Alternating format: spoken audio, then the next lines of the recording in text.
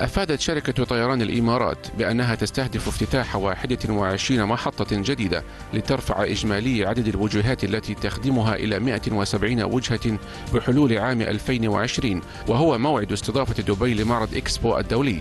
وأكدت الشركة التزامها بربط الإمارة بمختلف المناطق المأهولة في العالم لحضور هذا الحدث مشيرة إلى أنها ستركز بشكل أكبر على القارة الإفريقية إذ تتطلع إلى افتتاح عشر وجهات جديدة فيها خلال السنوات الخمس المقبلة.